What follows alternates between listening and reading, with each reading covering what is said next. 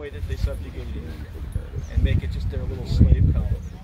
Um, you have the uh, uh, it, it, here in the United States. What's the Confederacy? What is it? It's just a bunch of crackers who don't like black people or something? No, absolutely not. It's part of the global British imperial system.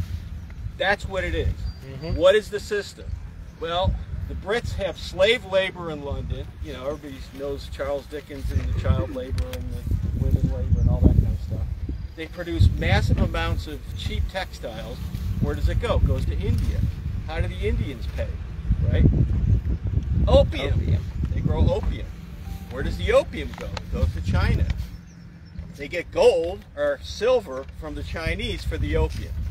So it, it and where does 95% of the raw cotton that goes into this whole system come from? The South. Wow. The southern states of the United States. Mm-hmm. And that's what the whole thing is part of. And so obviously, as part of their global rampage, they're going to bust this place up. No more internal improvements, no more governments directing credit outside of the Bank of England and the Empire to, you know, for your damn progress and all this other kind of stuff. And that's really the backdrop of what begins the War of Insurrection. Um, now, I just want to say a, a couple things about Lincoln, because Abraham Lincoln defines what it means to be a commander in chief. You know, Washington was president, but he wasn't president during the war. Madison was president during the war, but he kind of ran away. Well, Washington was commander in chief, and then he was president. Yeah, right. no, well, no, he was anyway, Commander in Chief meaning the president. Right, right, right. States, yeah, right? yeah. Right. And now here's a question for everybody: What's Lincoln's military experience? Zero. Zero. Zero. Oh, yeah, he fought mosquitoes. he went through it. Yeah. Right. But anyway, it's basically zero. Yeah, yeah, some militia training. What about Jeff Davis? West Point. West Point. West Point. Yeah. War hero. Top of the class. Right. He, you know, Secretary of uh, the uh, uh, the uh, uh, uh, War Secretary, whatever. Yeah, Secretary of War. That's right. right. Um, so that's interesting. So, what does Lincoln do when the war starts? Now, I want to just reference one thing in terms of who Lincoln is, because very early on, 25 years earlier, Lincoln sees all this happening. Very conscious of it. Mm. And he's, he says, my God, if this keeps going this way, we're going to lose this whole great experiment. And he gives a speech, which some of you may have read in 1836, in front of a group called the Young Men's Lyceum, on the idea of perpetuating the institutions of our republic. And I, and I do have to just read the end of it, because it gives you an idea of what he, how he's thinking about the rest of his life because he's talking about the fact that the, those that fought in the revolution, they're gone. They're not here anymore.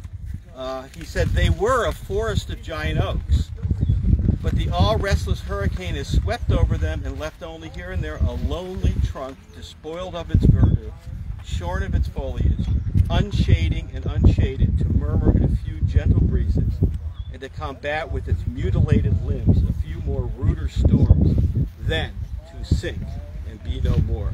They were the pillars of the temple of liberty, and now they have crumbled away. That temple must fall unless we, their descendants, supply their places with other pillars hewn from the solid quarry of sober reason. Passion has helped us, but can do so no more. It will be the future our enemy. Very mm. interesting, right? Reason, cold, calculating, unimpassioned reason must furnish all the materials for our future support and defense. Let those materials be molded into a general intelligence, sound morality, and in particular a reverence for the Constitution and its laws. And that we improve to the last, that we remain free to the last. Uh, and that during his long sleep, we permitted no hostile foot to pass over or desecrate, he's talking about Washington uh, Washington's resting place.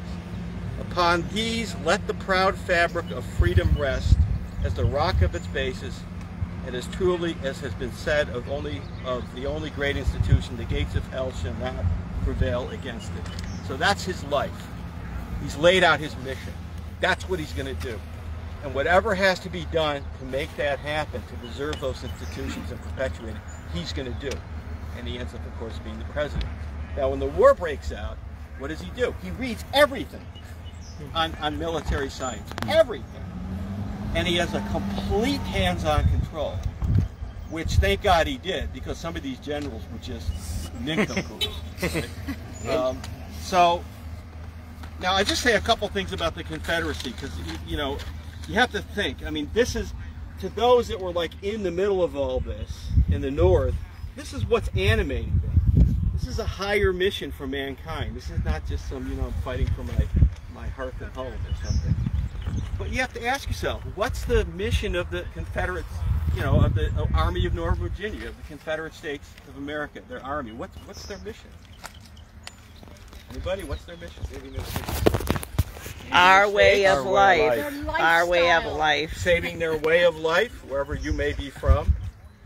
Right? They're rats. They're rats. They're rats. They're a legionary force of the British Protecting Empire. their rats. Fighting for my rats. You want a rat to trade? You They know, were blah, blah, they were they were legionaries to an empire, basically. I mean, not exactly a higher idea. And I'm bringing mm. this up now because the theme that you'll see throughout the day is something that the Prussians later called Auftragstaktik, hmm. which is, is a military term meaning mission orientation.